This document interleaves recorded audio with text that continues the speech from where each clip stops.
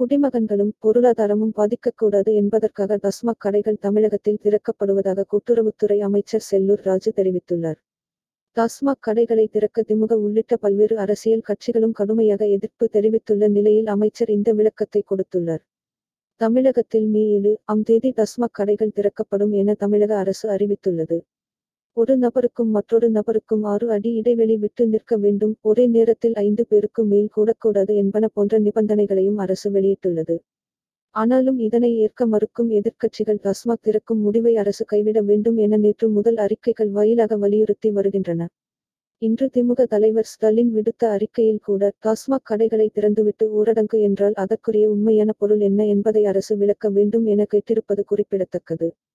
இந்நிலையில் இன்று மதுரையில் நீண்ட இடைவெளிக்கு பிறகு செய்தியாளர்களை சந்தித்த அமைச்சர் செல்லூர் ராஜு டாஸ்மாக் கடைகளை திறப்பதற்கான காரணம் குறித்து தெரிவித்தார்.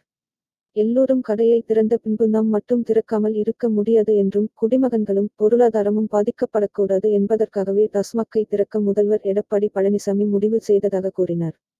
மேலும் இது மனமுவந்து எடுக்கப்பட்ட முடிவு அல்ல என்றும் கள்ளச்சாராயத்தை ஒழிக்கவும் வெளிமாநிலங்களுக்கு சென்று மதுவாங்குவதை தடுக்கவும் எடுக்கப்பட்ட நடவடிக்கை என விளக்கம் கொடுத்தார்.